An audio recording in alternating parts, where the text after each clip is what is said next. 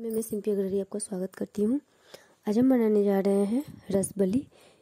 ये उड़ीसा के फ़ेमस मंदिर जगन्नाथ जी को छप्पन भोगों में से एक चढ़ाया जाने वाला भोग है और इसे बनाना हम शुरू करते हैं। इसके लिए हम एक लीटर दूध को पहले गर्म कर लेते हैं और अब हम 250 ग्राम पनीर लेंगे। इसे हम कद्दूकस कर लेते हैं। पनीर लेते समय ध्यान रखें कि पनीर एकदम सॉफ्ट होना चाहिए और इसे आप चाहे तो हाथों से भी मैश कर सकते हैं। हमने कद्दूकस कर लिया है पनीर को। अब हम इसमें ऐड करेंगे दो चम्मच मैदा। आप चाहे तो आटा भी ले सकते हैं मैदा की जगह। और इसमें हम डेढ़ चम्मच सूजी अब ऐड करेंगे और दो चम्मच पिसी हुई चीनी। इसके बाद हमने ऐड किया है इसमें आधा चम्मच पिसी हुई इलायची। और इन सबको अच्छी तरह से मिक्स कर लेते हैं। मिक्स करने के बाद हम इसे अच्छी तरह से हथेलियों से दबा दबा कर मसल लेंगे। और एक सॉफ्ट सा डो तैयार कर लेंगे। कम से कम आठ मिनट इसे मसलना है। उसके बाद ये काफ़ी सॉफ्ट हो जाता है, आप देख सकते हैं।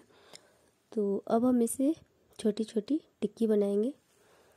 पेड़े के आकार का हमें बना लेना है इसे। तो पहले हम लोई बराबर काट लेते हैं और अब हम टिक्की तैयार कर लेते हैं। एकदम हल्के हाथों से प्रेस करके चिकना सा टिक्की तैयार कर लेना है।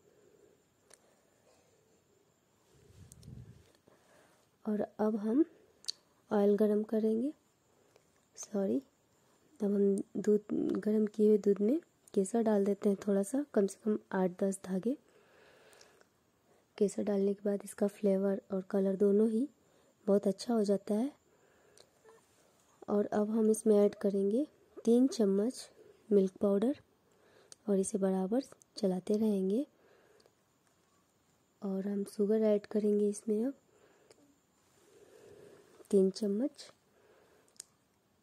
शुगर को आप अपने मिठास के हिसाब से कम या ज़्यादा कर सकते हैं। और इसे बराबर चलाते रहिए। इसे गाढ़ा नहीं करना है। बस इसे पाँच मिनट तक उबाल आने तक चलाते रहिए। उसके बाद दूध को ठंडा करने के लिए गैस बंद कर दीजिए। और लास्ट में इसमें इलायची पाउडर डाल दीजिए। अब हम ऑयल गरम कर लेते हैं। यहाँ पे हमने घी का इस्तेमाल किया है और गैस को एकदम धीमी आँच पे रखा है। धीमी आँच पे रखने से ये जो टिक्की हमने बनाई है, ये अच्छी तरह से पक जाएगा अंदर तक।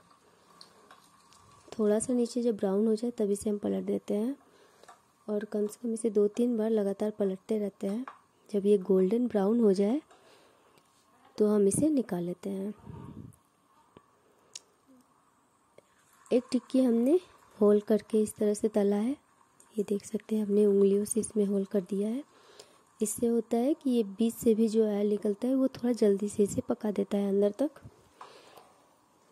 इसे भी हम गोल्डन ब्राउन कर लेते हैं और इसे निकाल देते हैं अब। गोल्डन ब्राउन हो चुका है, आप देख सकते हैं। तो अब हम इसे सर्व करने के लिए एक मिट्टी के प्लेट में निकाल लेते हैं।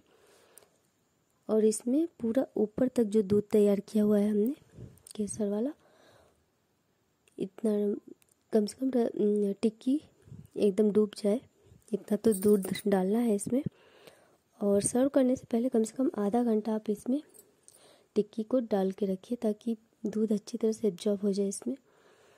और इसका टेस्ट जो है, बहुत अच्छा लगेगा जब ये दूध इसमें पूरी तरह से मिल जाएगा। तो हमने गार्निशिंग कर लिया है। आपको वीडियो अच्छा लगे तो प्लीज़ चैनल को सब्सक्राइब कीजिए लाइक कीजिए और शेयर कीजिए। धन्यवाद।